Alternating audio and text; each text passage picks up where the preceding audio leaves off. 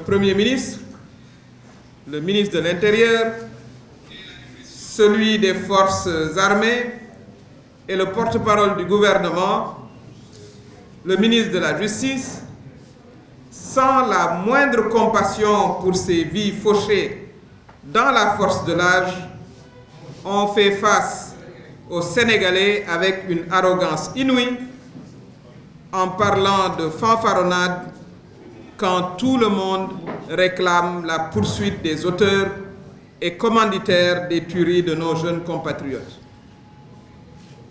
Il nous parle à nouveau de forces occultes convoyées par des pick-up clairement identifiés qui réussissent à tuer au nez et à la barbe de notre police et de notre gendarmerie dont le professionnalisme était pourtant vanté dans le monde entier. Comment peut-on, peut-il exhiber des images de nervis qui tirent sur les populations sans être capable de les arrêter? D'où viennent ces piques blanches stationnées devant le siège du parti du président de la République, à bord desquels ces sinistres individus sont montés, tels que, en tout cas, l'ont montré des médias internationaux de renommée.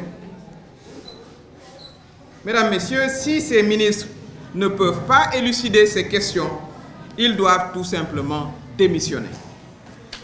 Le Premier ministre, le Premier ministre en tête, lui d'ailleurs qui a choisi comme thème de sa primature la primature du grand silence.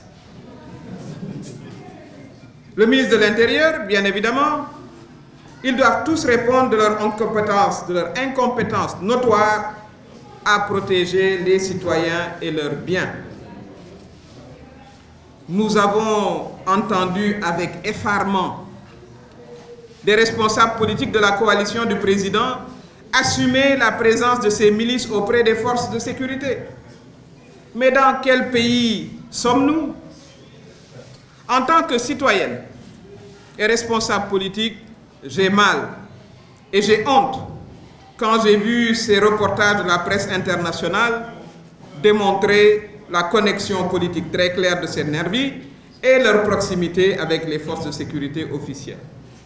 Aucune explication venant de la brochette de ministres poussés au front euh, de la communication, certainement malgré eux, par leur patron, le président Macky Sall. Pourquoi donc aucune plainte n'est déposée contre ces médias internationaux si les informations diffusées sont fausses? Pourquoi n'y a-t-il pas de plainte contre eux?